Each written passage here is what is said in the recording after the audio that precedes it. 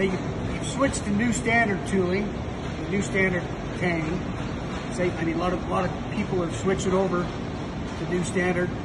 You've got new standard tooling now. Well, what do you do with all your old tooling? We're, we're building adapters that go from new standard to American. So this is new standard, new standard. If I clamp this, see, this section clamp is clamped.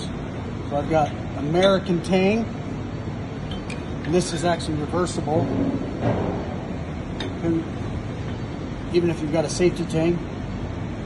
Now you can picture, you could have a bunch of these on your machine and be able to use your custom tooling or, or your old American tooling when you've got new standard tang.